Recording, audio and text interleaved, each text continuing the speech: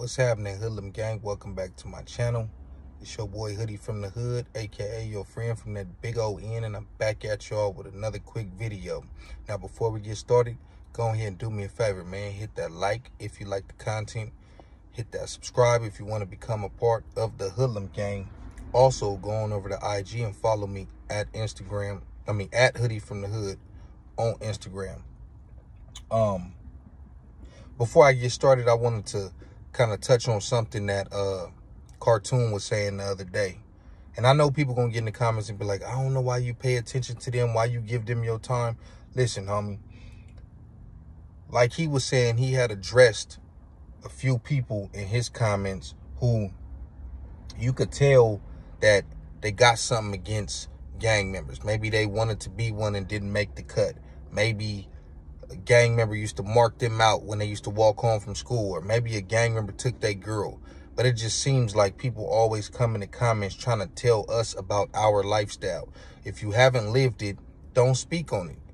For some reason, these people think they can interject and give their opinion on shit that they have zero experience in. Never even been around it. It'd be one thing if you didn't bang, but you lived over there. You got family from there, so you've been around it. So you know a little bit more than the average person.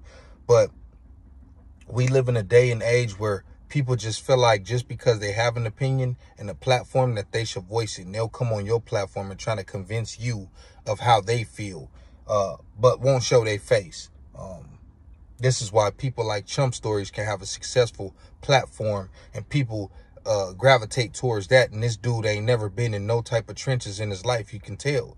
But anyways, um, like I tell people all the time, man, your your your your comments um and your opinion don't even matter over here. So I could care less how a motherfucker feel who ain't never been through none of the stuff that we go through. Uh with that being said, we're gonna get into the topic as you can tell from the title. Uh this is something that I stumbled across um well I actually had seen it the other day when China Mac was hollering at um T Rail and Smack. Uh, I wonder if he asked Smack about getting smacked or if that was done before. But anyways, um, I guess China Mac was questioning them about they little friction they having with Milk 7-4 or had. I, I didn't even really know it was nothing like that. Um, Adam told T Real basically he gave him an ultimatum, and that's what it's been. I ain't seen Milk make no videos. I ain't seen T-Real make no videos back and forth about it. It just seemed like they just kind of left it where it was at. But uh, he was questioning them about the whole situation. And um, I did see...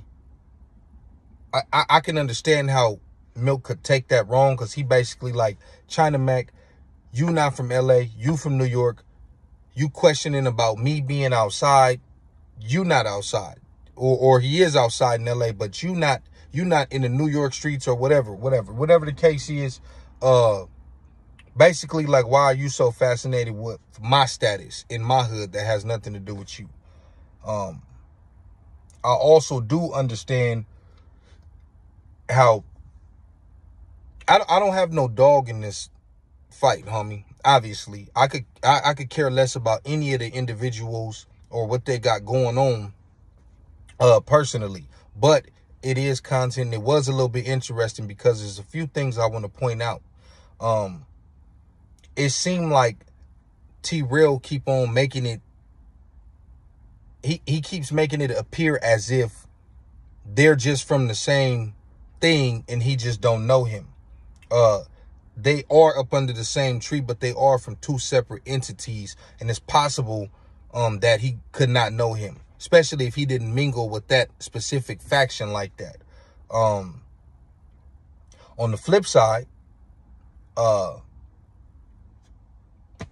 I mean, you you you would hear of somebody of that caliber, homie. Uh, a white boy being from a black gang, a black dude being from a Hispanic gang, Hispanic being from a black gang, whatever the case is, they're just, they would stand out. Um, even if you didn't know a person personally, if his name was ringing bells, you would be like, oh, you know, it's a white boy from over there, or it's an Asian, or whatever the case, or a black dude from a Hispanic gang, or black dude from an Asian gang, those people stand out. The fact that it's such a mystery, is he, is he not? You know what I mean? Like, bro, your name should have been ringing more bells. But he is from a different branch of that tree. So I understand that part. And he keep making it seem like they from the same section and he just ain't never seen this dude. And that's kind of misleading. So I understand where Milk is coming from with his frustration. Like, bro, I don't, you, you don't even cross over Slauson. Like, of course, you ain't never met me. But like I said, his name should have still been ringing bells had he been outside like that. And not just hanging outside smoking and drinking and tossing it up and wearing the colors. Like, actually sliding and doing things. Niggas would know you, homie. And the fact that it's such a mystery, um, that says a lot. But anyways, uh, and then China I guess he was, you know, when he made that reaction, his reaction about China Mac, China Mac, I seen like a two minute clip to where he was basically like, bro, if you're going to keep doing all that talking, like come outside. Like you're, you posting pictures from 10 years ago. That's proof that you know these dudes. Okay. But where you been at since then? Every video is like in a, a, a, a kitchen, a balcony, uh, what, what, what the homie called cuz a, a, a calcany banger. Um, and this ain't no diss. Like I said, I don't have a problem with the dude. I'm just saying, like, all them pictures is old as hell. Like, there's no recent nothing. And and and you can only get away with, oh, I just just cause I don't record it, just cause I don't show you, you can only get away with that for so long, bro. You've been on YouTube how many years and we've never seen the guy outside like that. And I ain't talking about just, you know, out eating with his girl. So I'm talking about we've never seen the guy outside, like not one time. Not a not a picture, nothing. When when seven four day come up or any of that, not even a picture like, yeah, I was there. Nothing. Absolutely nothing. So um I, I feel where China Mac is coming from because it's a lot of people who low key feel like that. Like, man, this nigga ain't never around them. But I could see if you fell back from the gang scene and even still, you will be in contact with some people. It will be some type of something. Your birthday, nigga pull up on you on your birthday. Even if you don't go hang out in your section like that, you got certain niggas that will pull up on you and come fuck with you on your C-Day.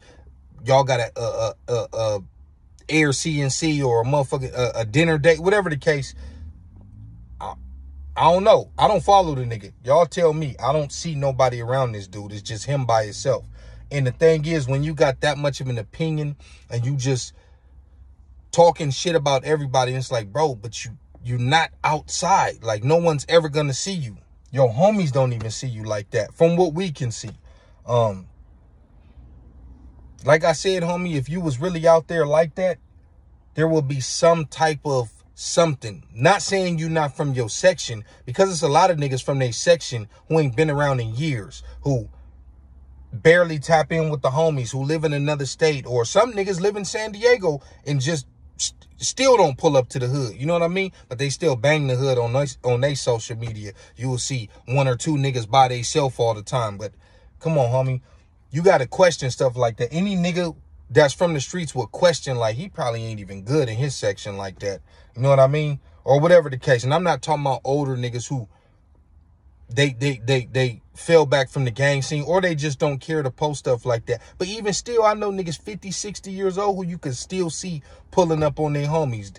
Like Cartoon. Cartoon live out of state, but when he go to LA, he's in South Park, homie. He's still pulling up on his homies.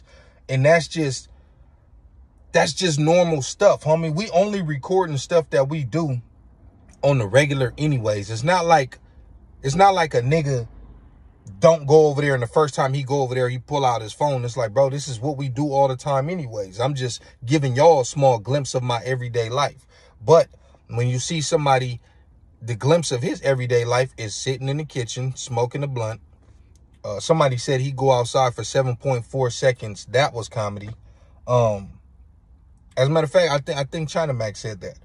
But you know when you got that much of an opinion and you doing all of this make yourself accessible uh you know if if if if you know you really like that i don't know bro i just feel where both sides is coming from i understand but um we'll see where this go, man. I don't know if this is gonna turn into something because it sounds like China Mac, low key, you know, was about to go there with him. Um, like I said, I don't know any of these individuals, homie, so it's not really like, like this is uh something that I'm invested in.